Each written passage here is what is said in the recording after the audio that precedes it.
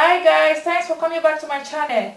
Today I'm going to be showing you the fabric I'm going to be working on this week and what we need. Stay tuned.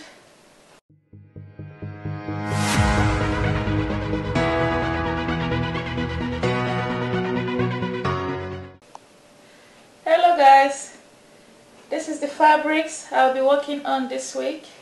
It's one of them, 6 yard, it's African print and I'm going to be using a black lining for it.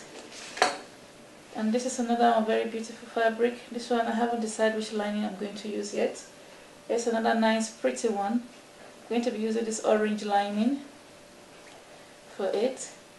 And this pretty blue one which I'm going to be using this turquoise blue polycotton lining for.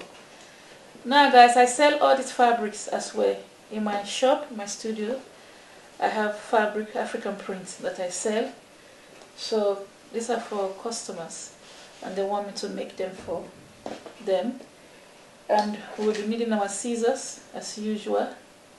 Scissors, our chalk, measurements, measurement tape, and rulers. I got these rulers from um, Amazon in case you want to know where I get it from. You can leave a comment on the comment box and I'll tell you where I got where the link where I got it from in Amazon.